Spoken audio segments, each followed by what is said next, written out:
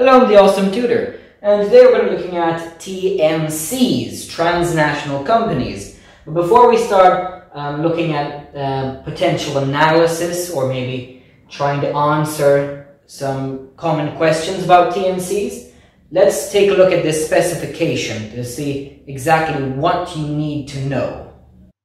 Okay, so as you can see here, it's basically just reasons why companies become TNCs and advantages and disadvantages of becoming a TNC. But if you ask me, they're pretty much the same thing. So if you have essay questions, sometimes they're going to ask you on advantages and limitations, sometimes they're going to ask you on reasons, but you're pretty much going to use the same points. But just be careful about your wording. Make your wording fit the question, okay?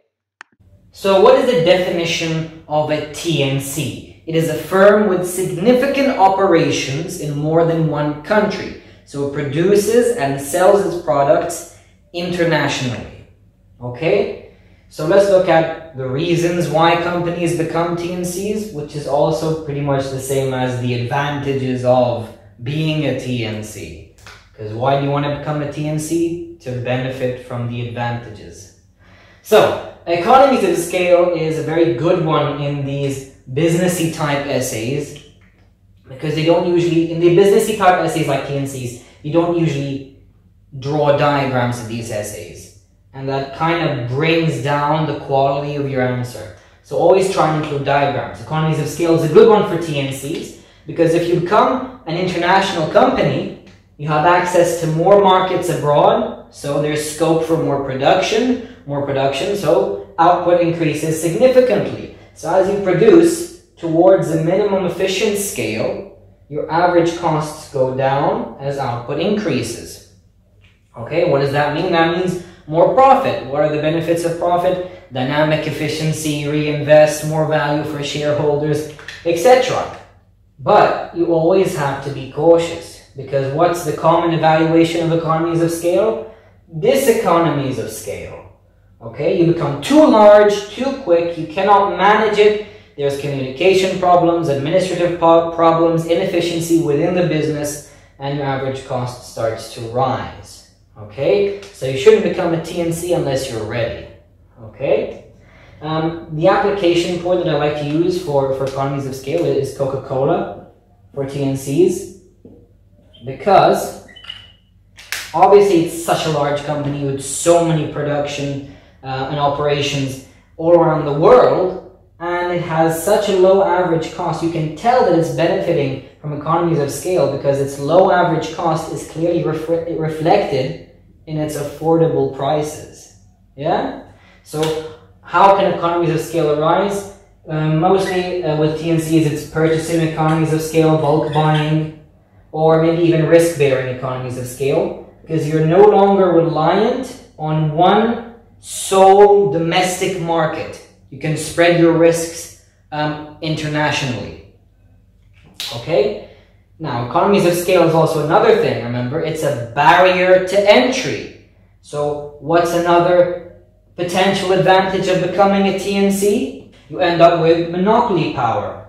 Now, you might not have time in an essay to draw a monopoly diagram, uh, an essay about TNCs, to draw a monopoly diagram and, and go into the analysis of it.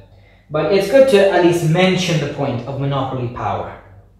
Okay? So, because economies of scale acts as a barrier to entry, you have monopoly power, difficult for small scale firms, especially ones that are only domestic, to compete with the cost efficiency of you as a TNC because you're benefiting from economies of scale, and most probably the small scale domestic firms are not experiencing economies of scale to the extent that you are. So with monopoly power, you can restrict supply, increase prices, gain market share, make supernormal profits, blah, blah, blah, blah, blah. But you're not always going to benefit from monopoly power simply from becoming a TNC. Okay? Becoming a TNC does not necessarily mean you gain monopoly power. It depends. Okay? You're probably going to need more than one barrier to entry. Maybe patents, that's one and you're also going to need to significantly benefit from economies of scale in order to gain significant monopoly power. Alright, so it depends. Now, this point you most definitely have to mention in a TNC essay you can outsource production to cheaper labor cost economies.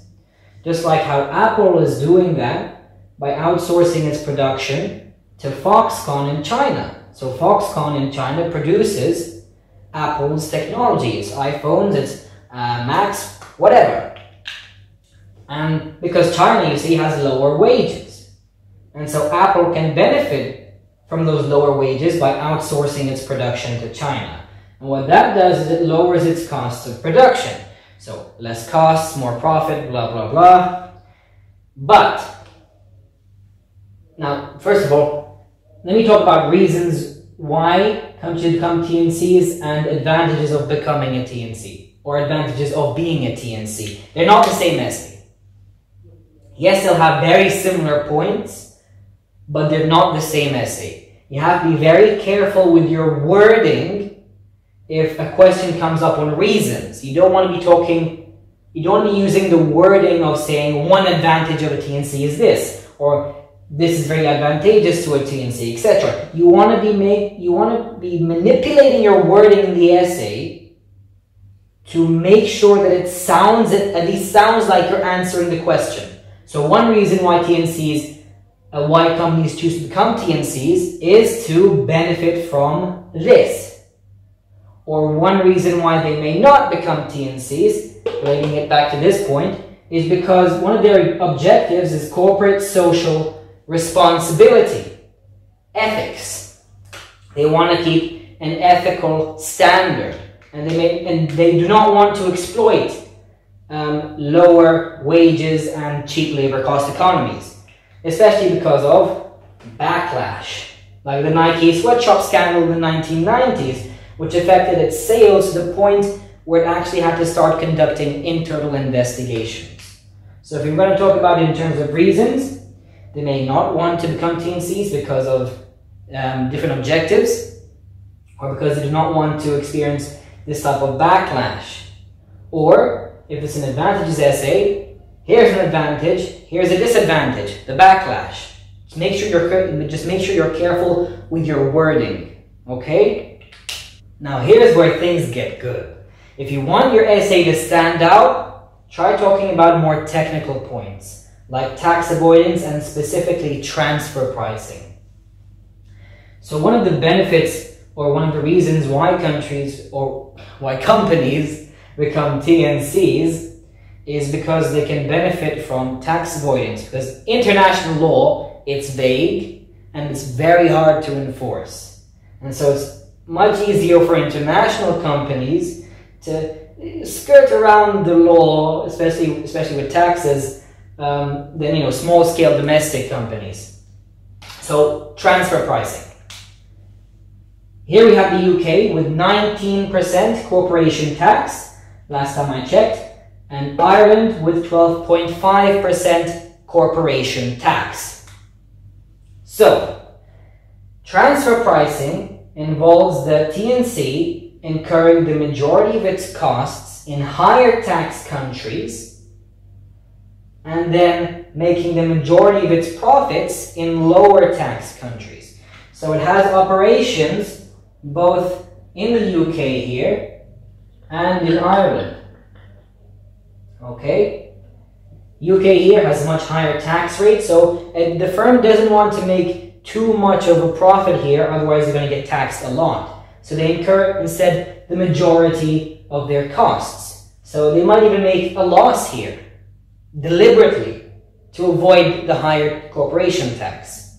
And then what they do is they sell the products they make here to their operations in the lower tax country, but they sell it at an artificially lower price. Okay? And here's where they make the majority of their profits with lower corporation tax. So it's lower tax, meaning they can raise the price and make more profits here because less of it is going to get taxed than if they sold here. So here they sell, and this pen is running out of ink. Here they, they sell at the the normal or maybe the market price. Okay? So what that does basically it minimizes its costs arising from tax and it maximizes its profits. Okay? Um, I like talking about Amazon in these types of essays because I think in 2018 it made 11.2 billion dollars in profits but it paid zero dollars in federal tax and it got a lot of backlash for this but it's not going to affect the company that much. I mean it's amazon. You can use that as an evaluation point. If it's a big company a big monopoly with lots of market power and lots of customers and consumers minor backlash is not going to affect its sales that much. So back to the taxing. Now Amazon, I don't think it used transfer pricing. It may have, but um, the reasons why it was able to pay zero dollars federal tax are much more complicated. I'm not going to go into them now because then I'll be wasting time. But you can go search it up. But you can use Amazon as an example of, of TNCs exploiting the advantage of tax avoidance. Let's move on to the next point. All right, more stuff on tax avoidance, but different kind of tax avoidance. And you can benefit from this, especially if you are an exporting firm, if you deal in exports. You can exploit lower trade barriers, specifically in trading blocs like the European Union Customs Union. Okay, the EU Customs Union. Many TNC has set up operations in Ireland because of its relatively lower corporation tax rates compared to other EU countries and the UK. Um, so by setting up operations here, they immediately gain access to the EU, the European market and the UK market. Remember, customs union, countries within the customs union, there's no tax on imports for countries within that customs union. So Ireland can export to the UK and it does not incur taxes on its exports. So the UK does not put tariffs up. You can't have tariffs in a customs union. Okay? If you don't understand anything I'm saying, go learn stuff about tariffs and customs unions. Okay? Because that, that is in the, in the macro specification. So, you set up operations in Ireland, they sell to the EU customs union, access to trading blocs and lower trade barriers. But this process will obviously be disrupted uh, because of Brexit. You know, you know that the the political disaster that is Brexit. So you could even use that as an you can use that as an evaluation point. Because of Brexit, countries companies may be deterred from becoming TNCs at the moment if they want to exploit lower trade barriers. They may want to ride this out a bit, see what happens if Brexit is ever finished, see what happens, and then they may decide to become TNCs. Because with Brexit, there's so much uncertainty. Okay? So again, lower trade barriers, no taxes on your exports. So that means that minimize your costs, maximize your profits. One other thing you need to do in these essays Okay, so remember in this exam, it's a 20 marker. You have to reach a conclusion. If you want to get high marks, you have to reach a conclusion. You have to have an, a, a la the last paragraph of your essay has to be conclusion. You have to make evaluation points and sum up your arguments. Okay, so what I like to do in my conclusions is I like to use generic evaluation points. Um, this is a good one. If you're talking about a reasons essay for TNCs, different firms have different reasons for becoming TNCs, so it depends on their objectives.